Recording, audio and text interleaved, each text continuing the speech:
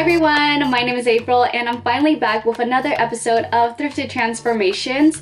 And if this is your first time here, Thrifted Transformations is a show where I go thrifting for outdated clothing and I transform them into something new. In this episode, I found this button-up shirt for $3 and I'm going to be transforming it into an off-the-shoulder summer blouse. I hope you guys enjoy this video and be sure to stay tuned to the end because I'm going to be doing a giveaway. Let's get started. The first thing that stood out to me about this top was the beautiful fabric, and I immediately thought of a summer blouse when I saw it because of the blue color and the transparent floral print. To get started, I cut straight across the shirt where the bottom of the armhole is. The top part of the shirt is going to be used as the waistband, and the bottom section is going to be used for the main blouse. Starting from the bottom of the shirt, I measure up 9 inches and make markings all the way across. This measurement is going to vary depending on what size shirt you're using. I'm doing 9 inches for the peplum and for the top half of the blouse I'm measuring 10 inches.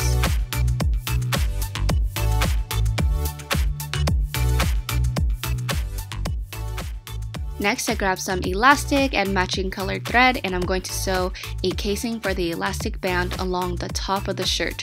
But first, I finish off the raw edges using a narrow and tight zigzag stitch.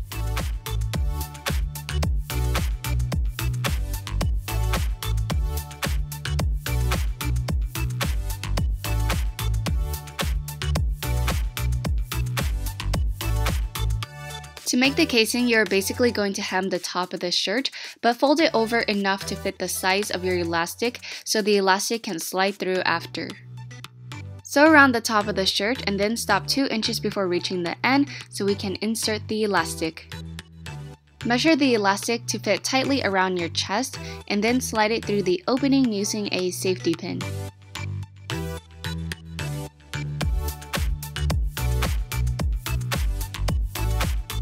Once the elastic has made it through and is sticking out on both ends, sew the ends of the elastic together. I like to overlap them and then sew a square to hold them in place. This way the elastic is laying flat and won't bother you.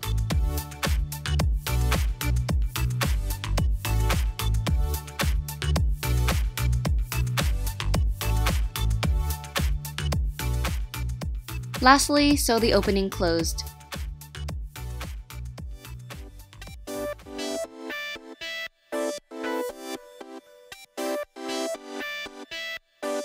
Taking the top section I cut at the beginning, I remove the sleeves from the shirt so we can use the back for the waistband. To make the waistband, I cut 2 inch wide strips and sew them together to make a longer strip.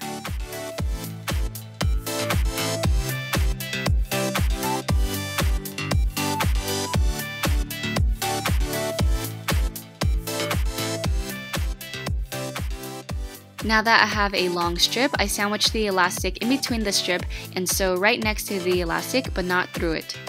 After sewing to the end of the strip, wrap the elastic around your waist and measure to fit tightly but comfortably.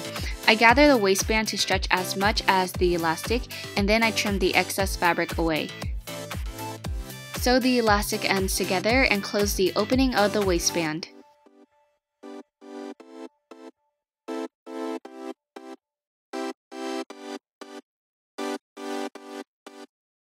Next, we can sew the elastic waistband to the top and bottom halves of the shirt, but if your elastic can't stretch all the way around the waist of the shirt, you'll have to gather the shirt first like me.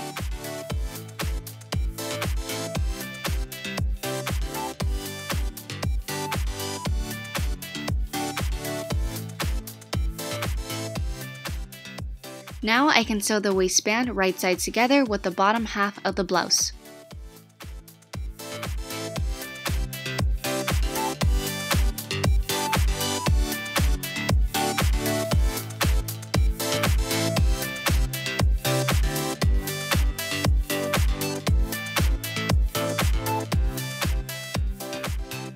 Lay the elastic waistband over the top half of the blouse and instead of sewing them right sides together at the waist, I just top stitch the elastic down.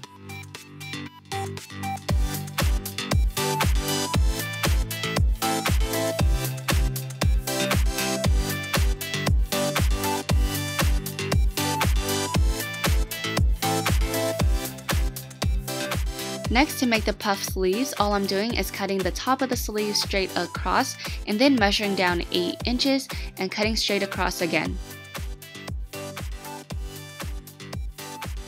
Then I just serged the raw edges and sewed the elastic around the top and bottom of the sleeves, just like how I did the waistband.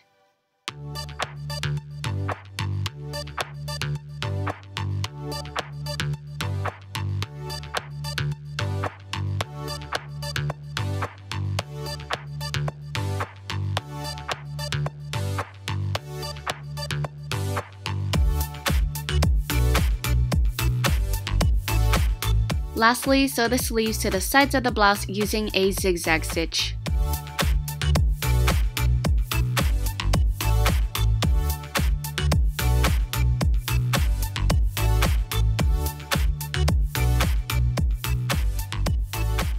Here is the final transformation.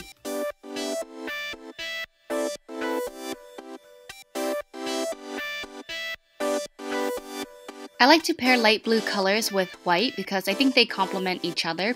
And these shorts were also thrifted and transformed.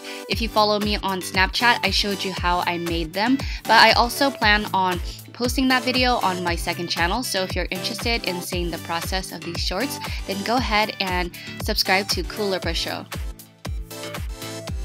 These nude colored heels are from Zooshoo.com and the braided ropes make them perfect for summer. I also like pairing peplum tops with gathered skirts because it looks like a super cute dress now.